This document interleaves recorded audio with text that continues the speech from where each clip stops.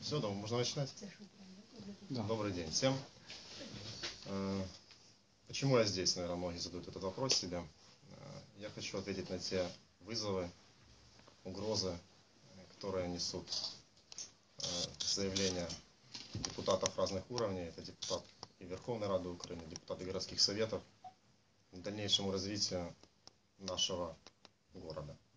Ситуация с ТОВ ПМК-59, благодаря титаническим усилиям, я считаю, это в кавычках взято, и народного депутата Владислава Трошенко, и депутата городских советов, они смогли буквально за один день превратить из чисто ситуации экономической в ситуацию политическую.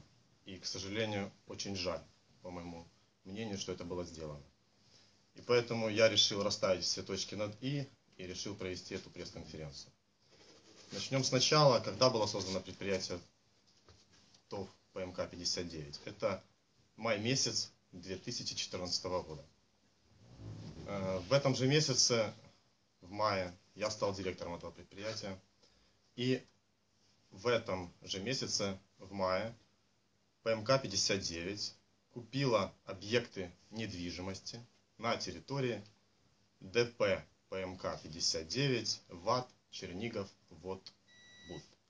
Все объекты, которые находятся на территории, нами были куплены. Буквально сразу после покупки этих объектов многими людьми, нами на сборах было принято решение о том, чтобы инвестировать в город Чернигов и непосредственно на территорию, в которой находятся наши объекты, инвестировать для строительства многоэтажной социальной застройки – с развитой социальной инфраструктурой, с развитыми коммуникациями. Таков был наш план. Почему? Тоже отвечу на этот вопрос. Потому что мы считаем, что город должен развиваться. Город должен строиться. Что такое строительство для нашего города и для любых городов? Это жизнь. В первую очередь, и я от этого, наверное, мнения не отойду никогда ни на шаг. А что означает это? Это означает сотни рабочих мест для строителей, во-первых. Для их семей заработные платы в течение не одного месяца, а возможно года и двух, в зависимости от того, сколько будет вести с постройкой конкретных зданий. Во-вторых, это работа смежных предприятий, которые работают на стройку. В-третьих, это работа уже после окончания застройки тех подрядчиков, которые будут делать ремонты в этих квартирах это работа супермаркетов и бытовой техники, которую люди будут покупать в новые свои квартиры. Это и работа э, строительных бригад, которые будут делать ремонты в этих квартирах. То есть это очень много людей связано с стройкой, которую могла бы быть сделана в городе Чернигове. Э, что же произошло? А, кроме этого, это еще уплата 4% сбора от общей сметы строительства э, в бюджет развития нашего города. Можно представить, какая эта сумма была бы. И о бюджете развития города э, говорят о том многие депутаты, что это очень важно, при этом они блокируют, как на мое мнение, такие важные вопросы, которые выносились на эту сессию. Плюс это уплата налогов с аренды земли. Но это все было в один момент заблокировано. То есть, по моему мнению, я знаю, что я не одинок в своем мнении, вопрос ТОВ ПМК-59 – это вопрос развития города. Любая стройка – это вопрос развития города. И не на один год, не на два года вперед, а на 5-10 лет. Потому что от начала момента зарождения идеи строительства до реализации этой идеи проходит не один месяц, не полгода, даже не год, а иногда два и три года. И еще раз хочу повторить, что благодаря усилиям народного депутата Владислава Трошенко, депутатам городского совета, этот вопрос перевели из сферы хозяйственной в сферы политическую. Зачем? Я могу лишь предположить. Э, возможно, это чисто политический популизм. Или второе мое, я еще раз повторюсь, предположение, корыстный, экономический, личный интерес. Но, еще раз повторюсь, это лишь мои предположения. Теперь пройдемся по тем пунктам, которые были озвучены на пресс-конференции народным депутатам, тут же, на этом же фоне, которые не соответствуют действительности. И что это? Вранье, манипуляция, некомпетентность или личная заинтересованность, у меня лишь только вопросы. Во-первых, остановлюсь детально на всем этом. А, народный депутат озвучил, что территория ПМК-59 подходит к стрижню. Я могу сказать с полной ответственностью, что от территории ПМК-59 до реки Стрижень не менее 300 метров. И это, наверное, в разы больше от необходимых санитарных норм, которые необходимы даже такой использовать к реке, как центральная артерия Украины, река Днепр в городе Киеве. Поэтому это либо вранье, либо некомпетентность, незнание, где же находится территория ПМК-59, купленные нами объекты на этой территории. Следующее. Он озвучивает тезис о том, что эта территория находится, как подниматься по улице Боевой к улице Рокоссовского, вот сразу справа, это он озвучил на пресс-конференции. Там и приблизительно нет этой территории. Там действительно находится парк, который мы все проезжаем и смотрим. Но это не та территория, о которой говорит народный депутат. Следующее. Народный депутат озвучивает то, что это ДП и называет это державным підприємством. Акт землепользования, постоянного землепользования выдан на ДП, государственного предприятия, как озвучивает народный депутат. Я не знаю, перепутал сознательно или несознательно ДП. Но это не государственное предприятие и таковым никогда не являлось. ДП можно расшифровать, как на самом деле и есть, дочернее предприятие. Дочернее предприятие. ПМК-59 открытого акционерного общества Чернигов Вот Буд, у которого мы и купили эти объекты. Забор, гаражи, административные здания. Перепутал ДП, государственное предприятие с дочерним, или просто не разбирается, это вопрос остается открытым. Еще тезис озвучивает народный депутат о том, что интересы громады не учтены. С громадой не посоветовались. Я могу вкратце рассказать этапы прохождения этого вопроса от идеи до полной реализации. Первое – это просто разрешение внести изменения в генеральный план, как первый этап. Второй этап э, – институт Днепромист, который разрабатывал генеральный план нашего города. Детально будет рассматривать всю территорию, учитывать подъездные пути, коммуникации, необходимость социальной инфраструктуры, нужен ли там садик, школа, детские площадки, спортивные площадки.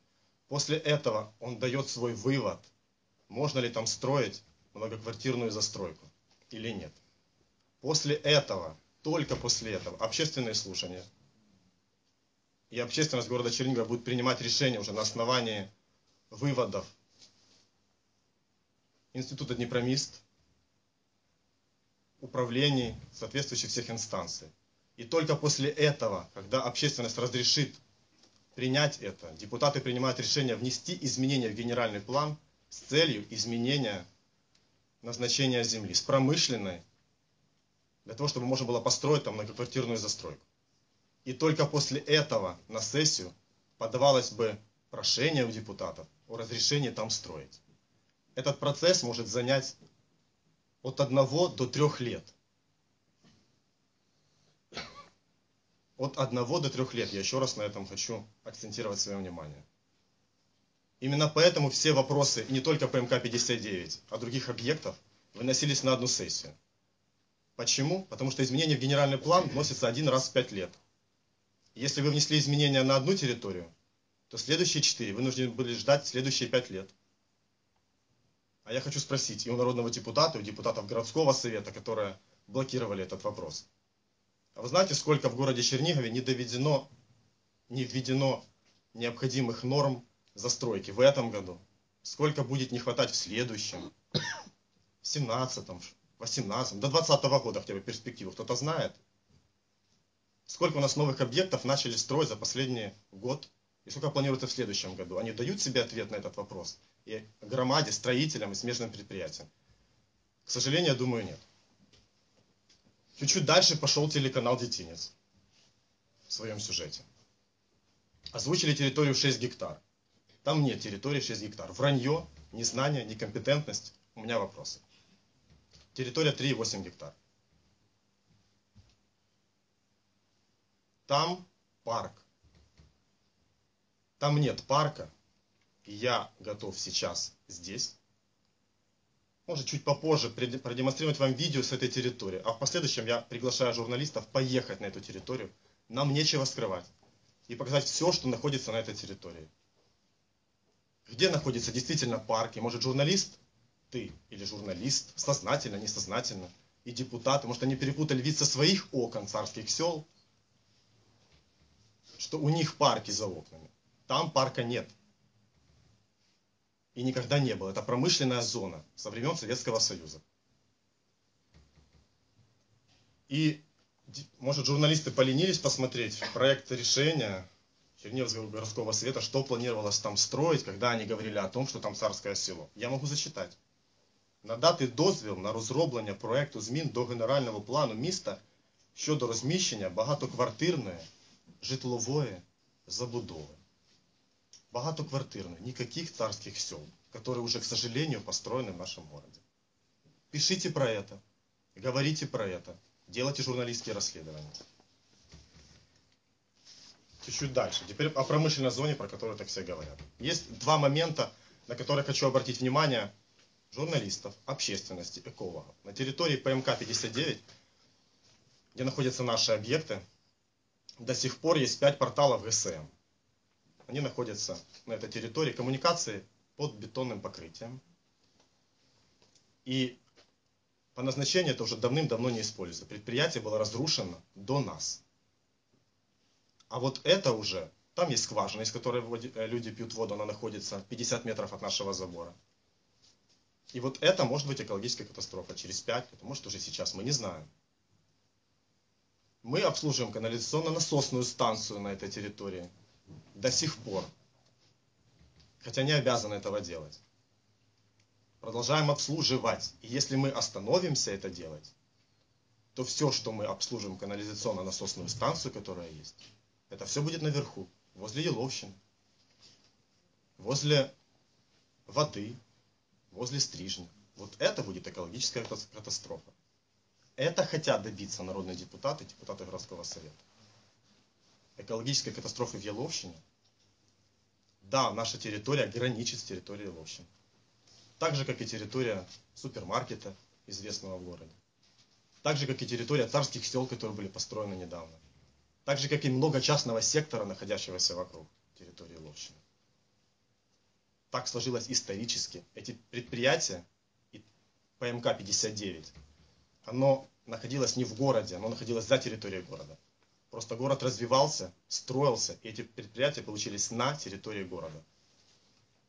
Они, эти предприятия, и металлист, и э, мясокомбинат, они не будут работать по своему профилю. У нас в городе, если не знают депутат и депутаты, больше 800 га промышленных территорий, из которых 75% используются не по назначению уже.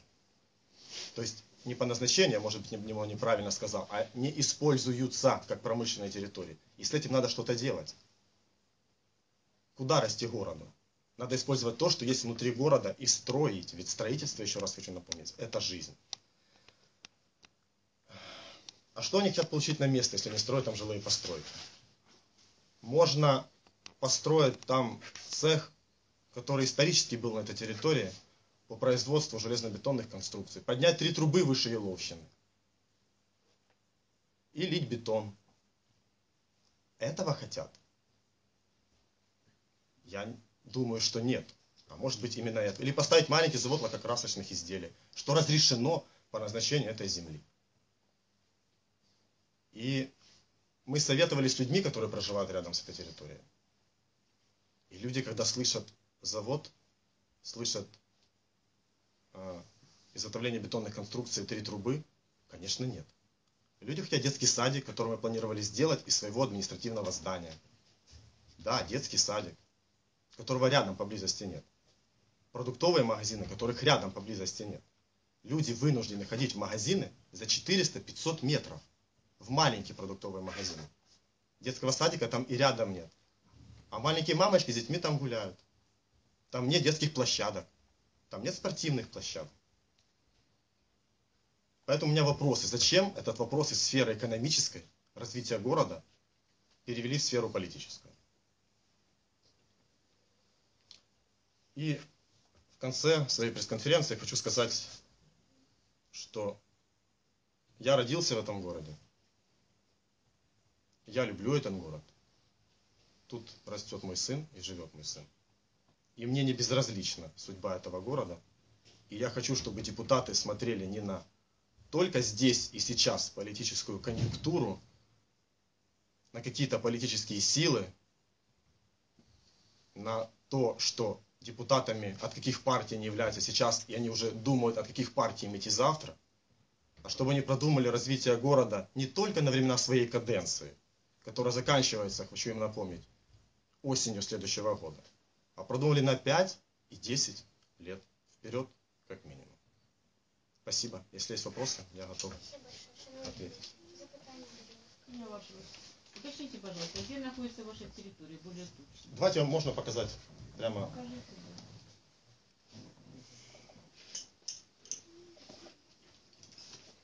Если вы видите карту, там где мышка, Там очень глупо. видно. сейчас я, я попробую, я попробую Ну увеличить. просто не очень Черниговский, вы просто опишите словесно, где она находится.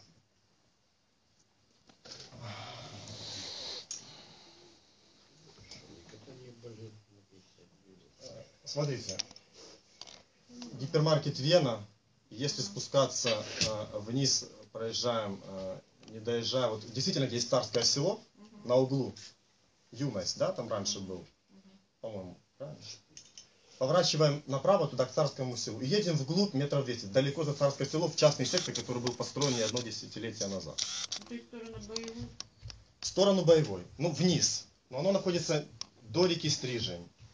Я могу вам потом Ну, то есть там смотреть. частный сектор, около э, не доезжая училище Лютного, да? Да нет, это не, не в ту сторону. Это не в ту сторону. Вот Вена, вот Стрижень, а вот Царское село, а вот наше предприятие. Внутри частного сектора, фактически. И многоэтажки по улице Фикселя. Это находится там объект, и тогда уже, поскольку я а, буквально одна минута, просто краткая нарезка видео. Вход, въезд в наше предприятие. Административное здание ПМК-59, купленное нами, которое мы хотим, хотели перепрофилировать в детский садик. Его территория. Вот этот парк, 3 гектара, про которые все говорят. Вот это Еловщина, якобы, про которую говорят. Это наш забор, за которым находится Еловщина. Вот наша территория.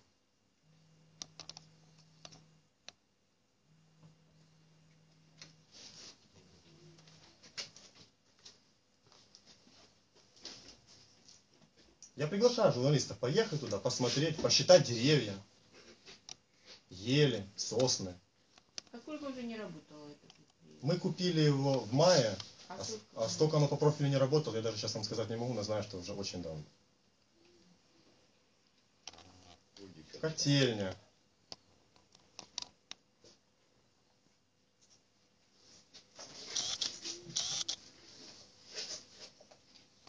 Вот этот весь лес на территории. Манипуляция, обман. Там сейчас фуры обслуживаются, там есть эстакады, там меняется масло. Ну, по промышленным нормам это все положено и все возможно. И оставить или это, или делать жилой комплекс. Вот дом, который там один-одинешенек стоит за нашей территорией, территорией, на которой находятся наши объекты. Дом по улице Фикселя, которого мы обслуживаем, это канализационная станция. До сих пор обслуживаем мы.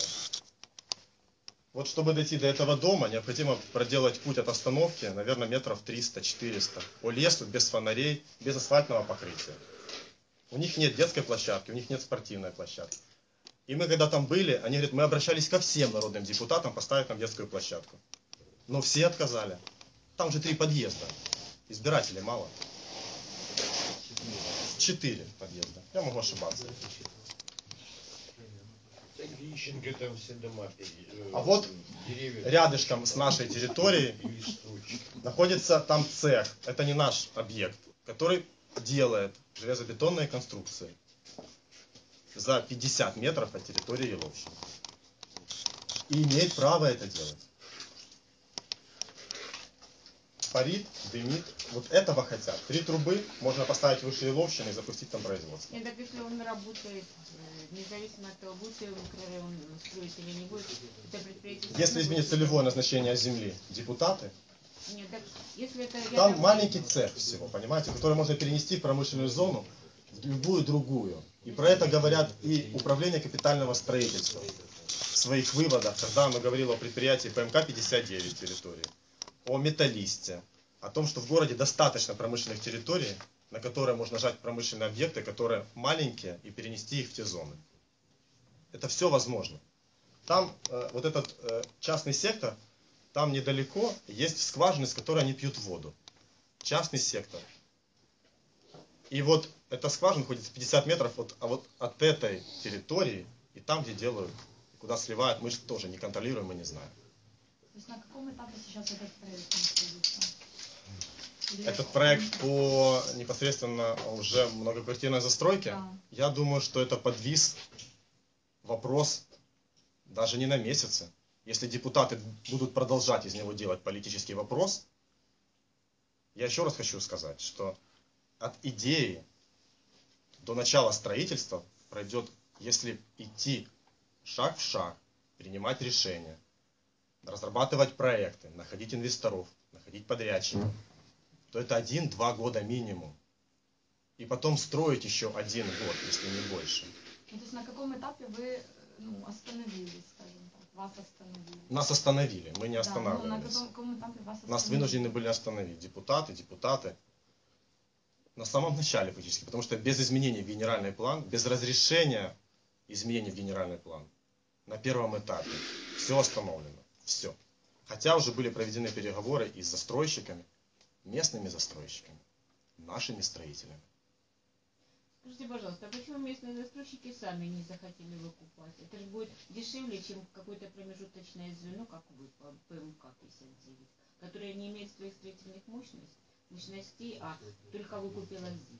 Почему? Мы землю не выкупали. а- а? Земля находится, акт постійного землекористування находится на э, дочернем предприятии, которое фактически уже не существует. И поэтому акт он тоже... Ну, Так, а ваша, Наши объекты, объекты а куплены все нами. Вы купили вот э, там полуразрушенное административное здание и гаражи. И все объекты, гаражи, забор, Да, все было ну, куплено ну, нами. Но земля это не ваша. Фактически, ну... Но по закону Украины э, мы э, должны, обязаны, и это будет на ближайшей сессии, взять ее в аренду. Мы просто хотели понимать, как использовать эту землю.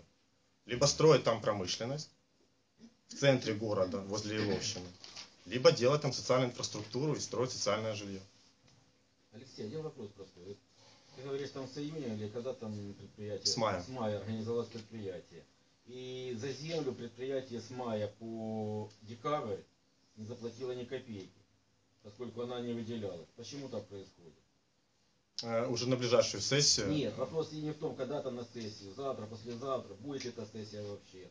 Вопрос, почему с мая по декабрь предприятие не заплатило ни копейки за 3,8 гектара городской земли? Какая-то сумма, Игорь. Я не знаю, за 3,8 гектара какая там сумма, я не знаю. Почему не заплатила просто? Вот, вы говорите, что честно ведете бизнес, все остальное, почему не заплатили?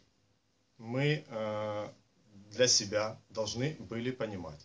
Нет, вы купили предприятие. Игорь, я вы отвечаю на ваш вопрос, и я не перебиваю вас в вашем вопросе, не хочу, чтобы меня перебивали в этом вопросе. Мы все взрослые люди, понимаем, зачем мы здесь собрались.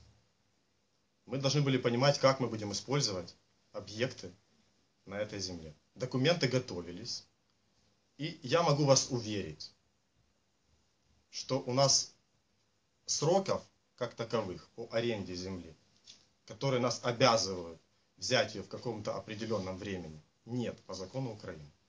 Мы должны были это сделать. Мы сделаем это обязательно в ближайшее время. Но мы хотим для себя понимать, что делать на этой территории. На земле, которая находится под нашими объектами. ТОВ ПМК-59. Просто ситуация Игорь, если земля не оформлена, нет основания выставлять. Ну, В смысле нет? ну, если она не оформлена. Ну, на нас она пока не оформлена. сразу было оформлять землю в аренду, а Ну, не как. Год есть- прошел, извините меня. Есть. Просто ситуация повторяется. Вот предыдущий пользователь земли, не будем называть кто, мы все знаем. Я не Есть знаю. э, рынок э, на ремзаводе Шанхай, да?